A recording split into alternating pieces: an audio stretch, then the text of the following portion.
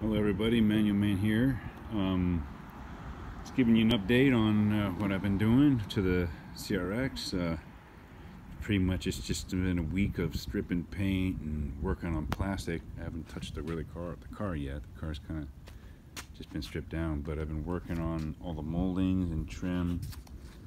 Oh man, that was a bitch, I tell you what, man, it wasn't easy. Uh, there's two coats of paint on these trims and it was a shitty paint job and had that go through the original. I went through special plastic strippers to clean all that shit up, then elbow grease and the whole kit and caboodle, but I got all the plastic done.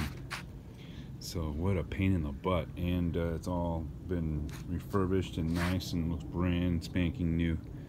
So that's gonna go on that here in the next maybe a couple weeks. Um, been working on the back bumper right here um, I'm still kind of working on this one here as it's going to be a two-tone waiting for this black to dry. I got the front bumper right there this is what it's going to look like right here this color. Kind of a military green ish kind of whatever in black. So that's what it's going to look like. And uh, so I've already kind of put the bumper on the front end it's going to look badass this car's going to look badass. So I'm pretty stoked on this car um, bare bones, man. This thing solid a rock. So I'm almost done with the plastic. And once I'm done with the plastic and all the rubber, then I start sanding this fucker down. And then prep this thing, get ready for paint. And uh, I got some work to do on some fenders, and I got some work to do on this hood. I gotta, I gotta bang out some dents, and uh, you know, sand, prime the whole, the whole thing. So the hood's not that bad, but there's a one little like pressure down. I kind of popped it out with my palm, but it's somewhere right here, right there, right there. So I got to grind this thing down, and then uh, you got to pop the windows out. Um, found a little bit of rust on the A pillar right here. There's just a little bit right there, a little hole. That's not a big deal.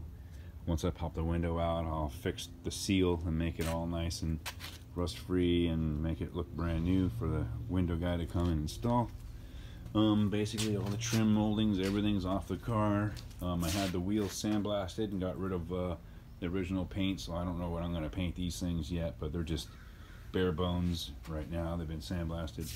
And then of course the back end of the CRX is just completely, you know, taken off and just ready for work. So that's what the uh, CRX update is.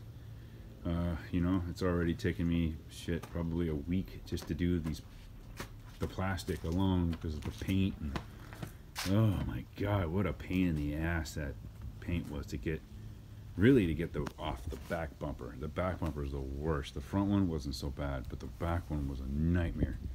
And all the side skirt stuff and all the all the garnishing um, those kick panels were a pain in the ass but everything else was kind of better, easier. So, anyways, this is Manual Man again, and this is uh, my update on the uh, CRX. And uh, leave a comment or post a, you know, uh, you know, say what you want to say.